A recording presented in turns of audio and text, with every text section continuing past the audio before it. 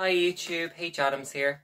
So in today's video I'm going to do a drawing of a skull and crossbones and show you how I draw it. Yeah, so without further ado, let's get started.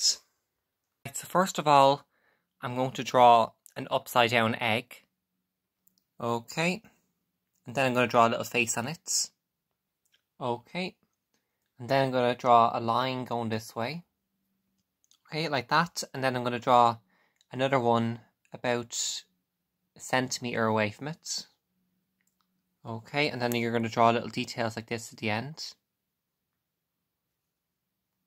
Oh. Yep, like that, and then the other end too.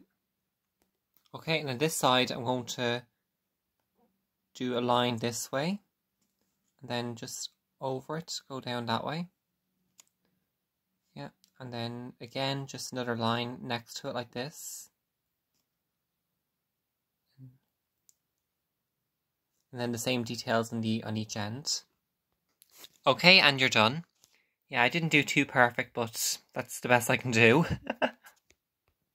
Thanks for watching this video, and if you like this video, please like and subscribe, and stay tuned for more videos in the way. Talk to you soon. Bye!